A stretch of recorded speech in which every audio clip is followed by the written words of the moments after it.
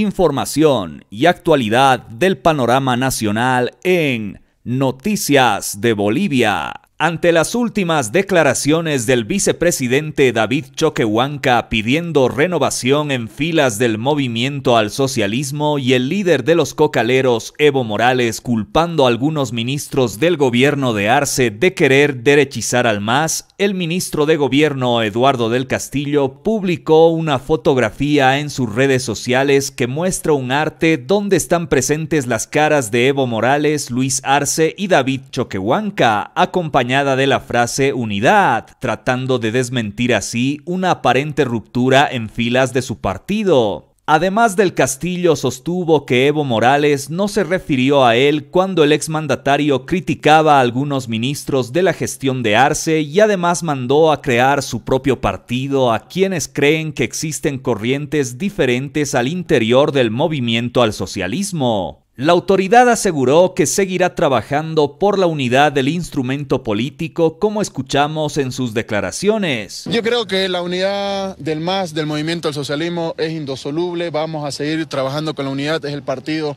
más grande que ha tenido el Estado Plurinacional de Bolivia y vamos a seguir trabajando para trabajar en la unidad no solamente del instrumento político para la soberanía de los pueblos, sino para la unidad de todo el pueblo boliviano y podamos construir una patria rumbo hacia nuestro bicentenario una patria digna. Ante la publicación del ministro de Gobierno Eduardo del Castillo pidiendo unidad en filas del MAS, la diputada de este mismo partido, Betty Yañíquez, afirmó que las fotografías están por demás porque en el movimiento al socialismo, según ella, hay unidad y que solo los grupos de churrascos son los que hablan de división. Además, Yañíquez dijo al ministro que no tiene por qué lavar su imagen y que se dedique a trabajar como escuchamos a continuación. La unidad prevalece en el movimiento al socialismo.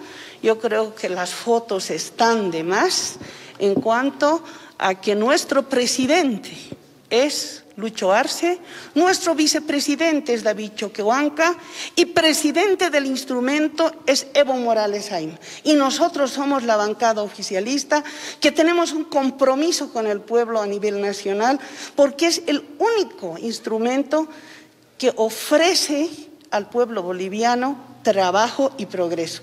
Los demás son agrupaciones a calor de las, de las elecciones que vienen y sin un, siquiera sin tener un nombre, se agrupan como decía algún periodista de derecha, son grupos de churrasco. Creo que el ministro no tiene que lavar imagen, lo que tiene que hacer el ministro es trabajar, como todos los ministros. Se pronunció también al respecto el ex asambleísta del MAS, Lino Vilca, que responsabiliza a Evo Morales de ser él quien derechiza su partido y además lo divide por su angurria de poder, como escuchamos en sus declaraciones. Evo Morales es derecha.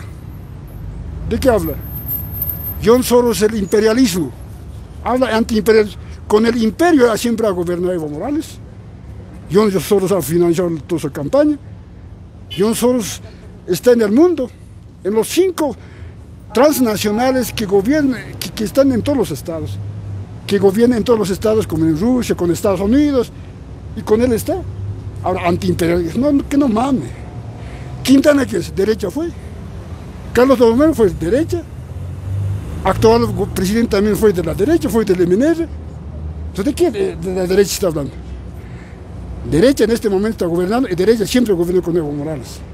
Entonces, es el peor oposición que tiene en este momento el, el, el que es Evo Morales. Ahí está yendo, por anguria de poder, debe estar en este tranquilo en su, en su, en su chapare.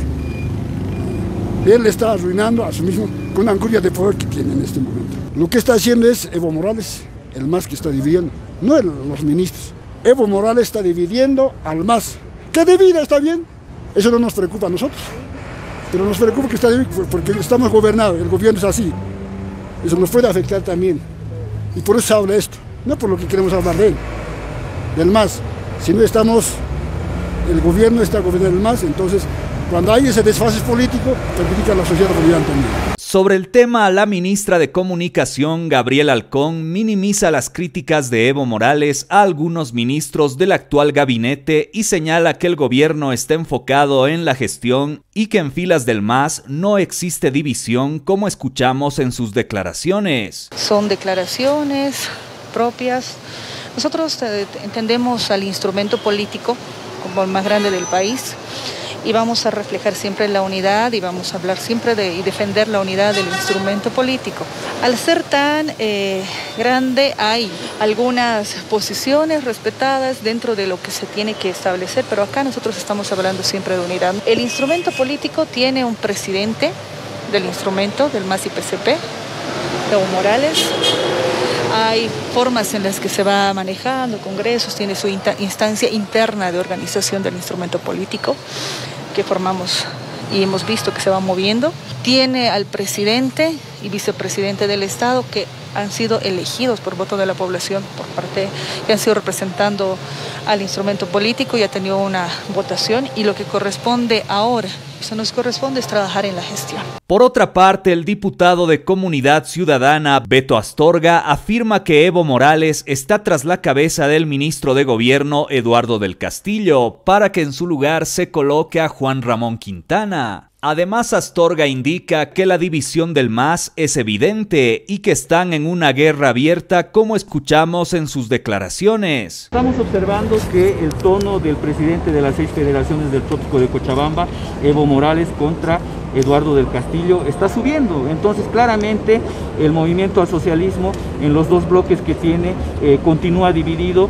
Evo Morales eh, pretende pues eh, sin duda con sus diputados que tiene aquí en la Asamblea Legislativa censurar a Eduardo del Castillo. Acá en Pasillos se comenta que el MAS ya tiene dos bancadas. Una bancada que responde al Palacio de Gobierno y otra bancada que responde al Chapare. Entonces en ese contexto se da esta interpelación eh, sin duda va a haber una división al interior del MAS acá en su bancada y vamos a observar pues eh, por quienes votan los distintos diputados, pero queda claro que los diputados que responden al MAS eh, van a pretender censurar al ministro de gobierno. Nosotros como oposición vamos a escuchar y vamos a ver de qué manera responde las preguntas el ministro de gobierno y en ese momento veremos qué decisión tomamos. Efectivamente, Evo Morales quiere la cabeza del ministro Eduardo del Castillo, seguramente lo quiere sacar eh, para colocar en su lugar a Juan Ramón Quintana.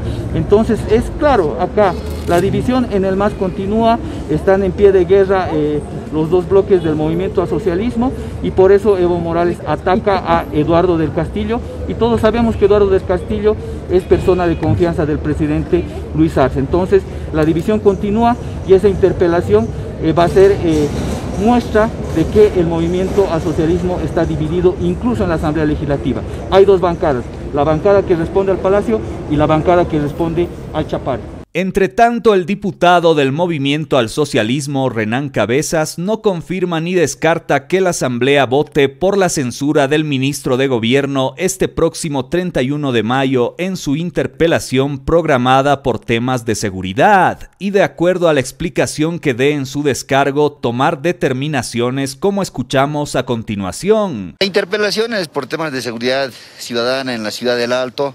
Las preguntas son concretas, casi una veintena de preguntas eh, solo van a participar los, los interpelantes y el ministro va a tener también el tiempo, un tiempo igual para responder los mismos. ¿no? Al final, dependiendo cómo sea la explicación y las respuestas del ministro, se votará. Puede ser que se vaya a una aprobación pura y simple o, finalmente se vaya a una censura. Eso va a ser una determinación de los asambleístas en, en la Asamblea Legislativa. No podemos adelantar ningún voto porque tenemos que escuchar al ministro si satisface las preguntas a, los interpelantes, bueno, va a tener un voto a favor. Si no es satisfactorio, tendrá un voto en contra. Hasta aquí con las principales informaciones de la jornada. Serás tu un próximo compacto con más noticias de Bolivia.